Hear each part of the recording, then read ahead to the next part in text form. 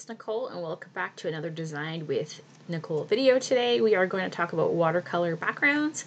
Today I'm using some stamps from Close to My Heart as well as some gesso and some fun watercolor uh, inks by Pink Pinkfresh Studio. So I've gone ahead and I've just applied some of this gesso to a textured cardstock background. The reason you want to use the gesso is it's not going to allow your paper to absorb all the water that's in the watercolor paint. So I'm just going to you know, I did a little sample here. I'm going to let, set that aside to dry. Um, and I'm going to continue on with some other items for my project. So I have some smooth white cardstock here and some archival ink from Close to My Heart and these really pretty butterfly stamps.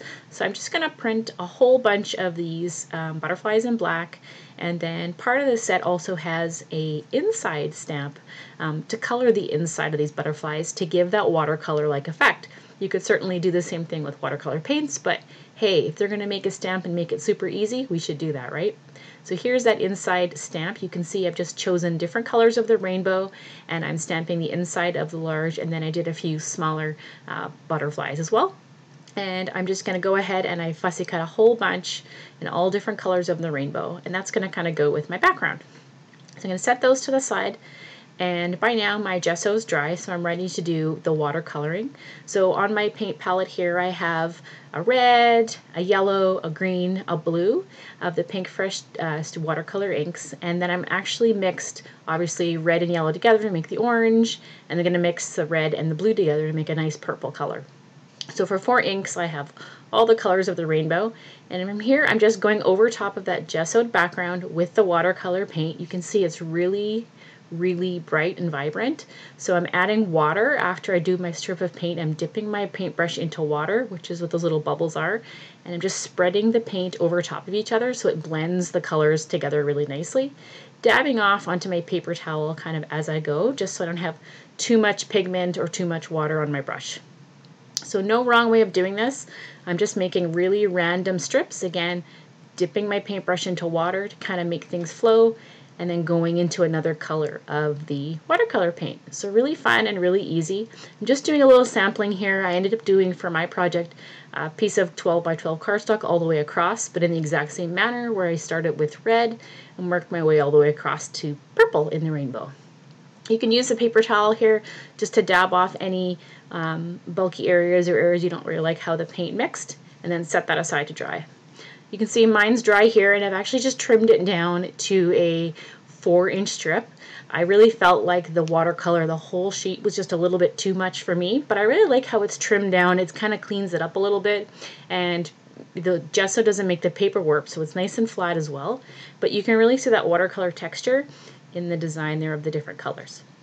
So now I have my fussy cut butterflies and I'm going to add my photo here. I've gone ahead and just backed my photo onto a mat of some simple black cardstock. That's just going to tie that black in from the butterflies and just ground the photo out around that all that color we have going on.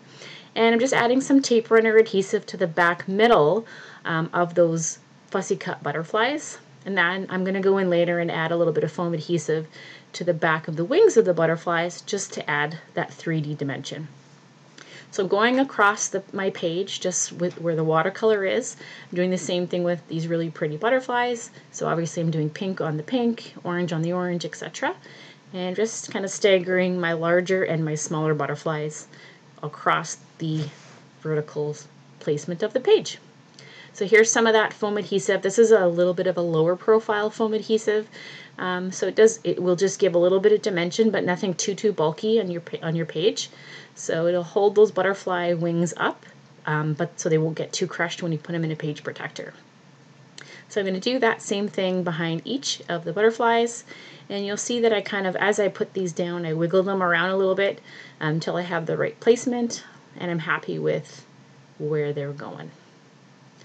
It's really fun, really easy, and I really love that watercolor effect on the butterflies without even having to do any watercoloring whatsoever.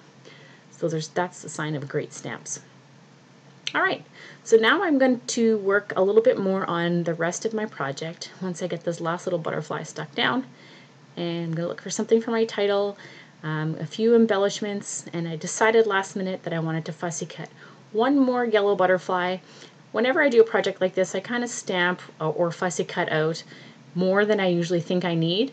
Just because as you kind of get going, sometimes when you move things around, you need more um, it's easier to cut more, but sometimes you just want to have them done. So I like when it comes to something like this where I'm stamping out an image and fussy cutting, I usually do a few extra just to have on hand. And worst case scenario, I have enough for another project. So now I'm going to go ahead, just going to grab some Vicki Boutin thickers here.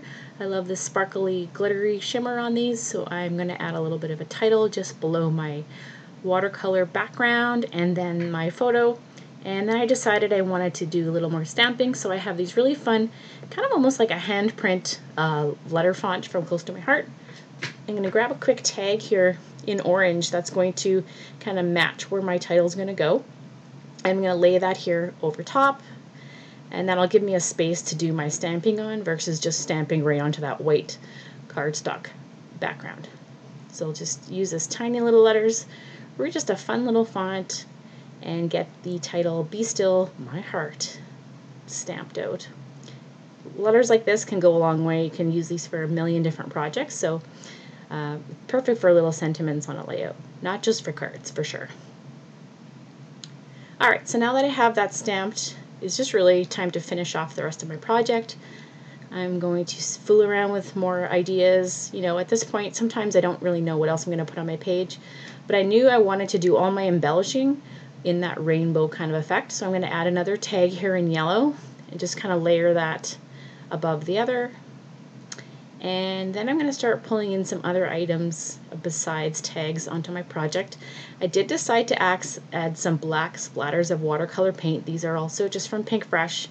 And I just did a tiny little tap with my round brush over top of my layout. And you can see I got a little bit of an oopsie there below my title. Um, sometimes you can take a paper towel and just suck that up, but this uh, watercolor really goes into the paper really easily. So I'm going to count that as an embellishment opportunity and grab some other stickers and bits to kind of cover that little smudge up. You'll see that that will be the theme of my project is, is working in an embellishment opportunity. So as I work through here, I'm going to add some stickers that are kind of similar colors to the watercolor background. I'm really letting that watercolor be the guide for how I'm going to and what choices I'm going to use depending on the color. So I'm kind of working by color group, so I'm using this little blue label in the blue area, the green photo camera in the photo area, and this little yellow heart on my label sticker, and just playing around with some smaller embellishments, deciding what I want to put on my page. Then I kind of thought I wanted to fill in that bottom area underneath my photo a little bit, so I have this fun sentiment by Crate Paper I'm going to stick in there. I love these clear black and white text stickers perfect to just add on that white background. And then I found a few more little hearts I thought I might add. And I don't use enough purple very much, so I used the opportunity to take that purple heart and get that on there.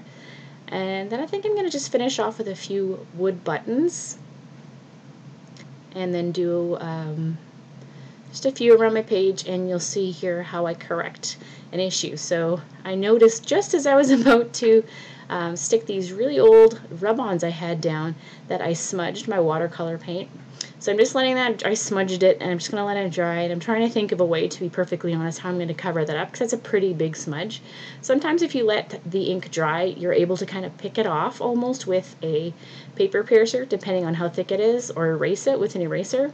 Um, but I decided it wasn't completely coming off, but I would use this little flag um, to cover that up. So that works for me. So I'm just going to go ahead now. I got some wood buttons here with little enamel dots in the center. I'm going to again use some more of the rainbow colors to add these in. I kind of play around with the placement of some of these. I'm still going with that rainbow kind of color effect. So I'm going to scatter those throughout my page. And then I will move one butterfly over. I think it's a little too close to the edge. I did want another um, enamel dot wood button up at the top. And again, I smudged more watercolor paint.